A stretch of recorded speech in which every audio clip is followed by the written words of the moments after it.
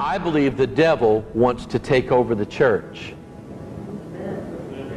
I believe the devil wants to take over this church.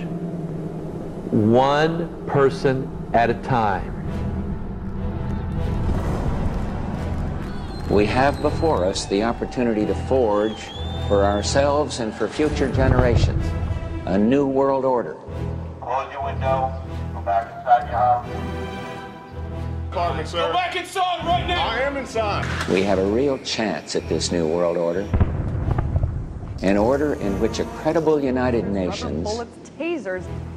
can use its peacekeeping role to fulfill the promise and vision of the UN's founders. After 1989, President Bush kept said, and it's a phrase that I often use myself, that we needed a new world order, and instead it looks like we got a lot of disorder. Been a long time coming because of what we did on this day, at this defining moment. Change has come to America. President Obama and British Prime Minister Gordon today calling for a new world order to tackle our global economic crisis.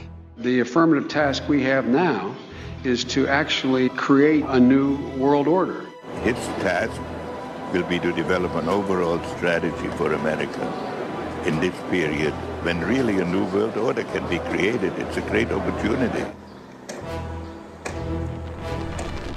You talk about the New World Order defined as you have as being Luciferian. Yes. Um, how do you know that? My investigations led me to look at the back of the American dollar, and I found these strange seals on the dollar here. They're Illuminati seals, which was a secret society set up in 1776 by a man called Adam Weishaupt. And on the back of the dollar here, you see the seal on the left hand side, and there's an eye in the triangle. It's the eye of Horus in Egyptian mythology, now called the eye of Lucifer or Satan. The two words at the top, Annuit Coeptis, stand for announcing the birth of, and down the bottom, Novus Ordo Seclorum. And that great seal of the United States has on it Novus Order Seclorum, a new order. And people should be asking the question what is an Egyptian pyramid doing on the back of an American dollar? What link up is there between America and uh, Egypt? The answer is none at all, except in the field of the occult. And thus we see we're dealing with a Luciferian plan.